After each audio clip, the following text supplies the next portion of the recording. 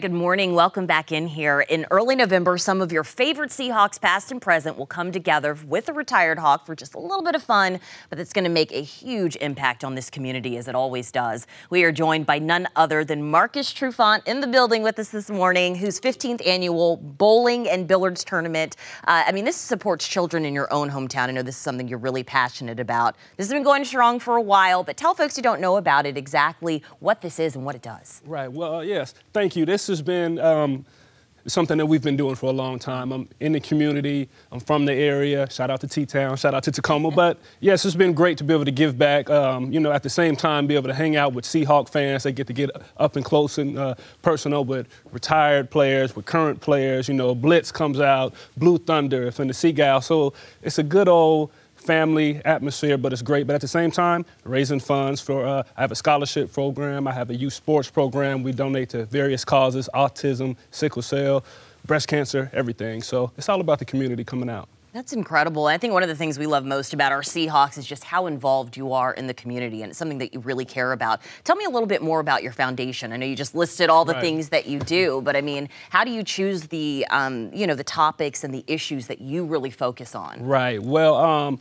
it's it's it's tough, of course, to, to focus on one thing, and I like to be spread out. I like to be able to touch a little bit of everybody, be able to give back to um, several organizations. Just like I said, uh, I've been around, so, you know, I, I know a lot of people, my mm-hmm. elementary school teachers, my, you know, doctors, and people that I've met in church, and there's always a cause, and uh, a lot of people need help, especially in the youth. All right, and so if you're coming out, obviously these are going to benefit so many different organizations um, and, and, issues here in our community. Tell us a little bit about this event. It looks like so much fun. Right. Well, I'm I'm not the best bowler, so you know I'm kind of. you look pretty good there. big strike, but uh, I'm kind of like a hit or miss guy, so mm-hmm. it could be a good day for me. But I think the the um, the main thing is is that all the great causes. And like I said, the Seahawks that come out, the guys are great.